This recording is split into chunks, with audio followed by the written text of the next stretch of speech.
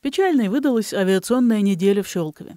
Между Днем ВВС и Днем Воздушного флота ушла из жизни легендарная авиатриса Галина Павловна Брок-Бельцова. Проводить в последний путь женщину-легенду, участницу Великой Отечественной войны, штурмана 125-го авиаполка пикирующих бомбардировщиков, в Центральный дворец культуры пришли сотни людей. Военные летчики, ветераны, кадеты, подруги по Союзу женщин летных специальностей «Авиатриса», в котором она была почетным вице-президентом.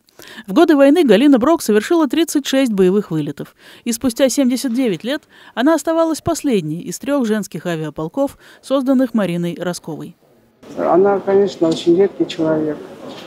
Она стойкий духом, прекрасный оратор, прекрасный.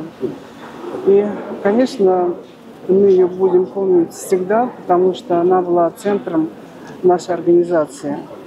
И мы не забудем нашу звезду, будем точно знать, что она в полете, и душевная нить никогда не прервется. Галина Павловна была уникальным человеком. Мы все ее бесконечно любили и любим. Останется она в наших сердцах навсегда – Галина Павловна была символом и останется мужества, стойкости.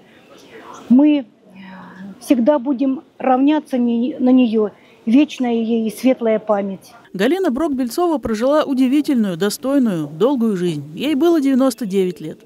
60 из них она прожила в браке со своей фронтовой любовью Георгием Бельцовым, генерал-майором авиации.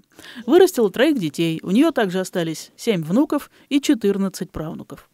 Галина Павловна проживала в авиационном микрорайоне Чкаловский, но знали ее далеко за пределами Щелкова.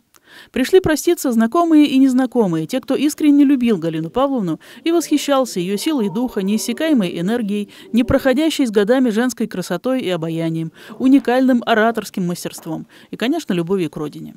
В последние годы Галина Павловна неизменно была почетным гостем на парадах Победы 9 мая.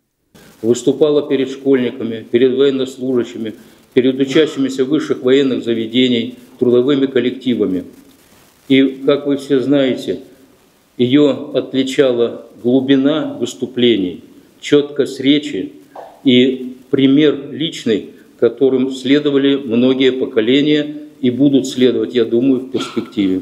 У Галины Брок-Бельцовой не было звания героя, только фронтовые ордена, Красной Звезды, Отечественной войны первой и второй степени и много медалей. Но она была героем для всех нас, кто ее знал.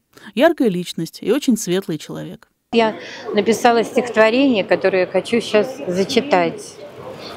Погасла яркая звезда авиатрисы, Покинула наш штурман Галя Брок, Глубокий след свой оставляя в нашей жизни. В рассказах о подругах боевых и о войне большой урок. Светлая ей память. Пусть всегда ей будет пухом. Но нам без нее будет сейчас плохо, конечно. Потому что она была каким-то нашим рупором. До, до молодежи могла донести все. Ну, а мы постараемся продолжить ее дело, ветераны. Простилась с ней не только городской округ Щелка, с ней простилась страна истинный патриот России. Она ее любила до конца. Занималась патри... патриотическим воспитанием детей, не только, она занималась патриотическим воспитанием нас. Умнейшая, сильнейшая женщина,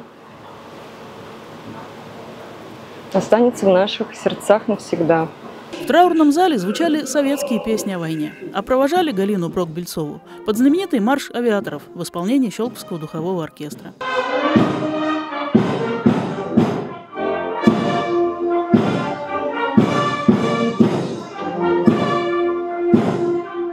Похоронили легендарную авиатрису на Введенском кладбище в Москве, рядом с мужем.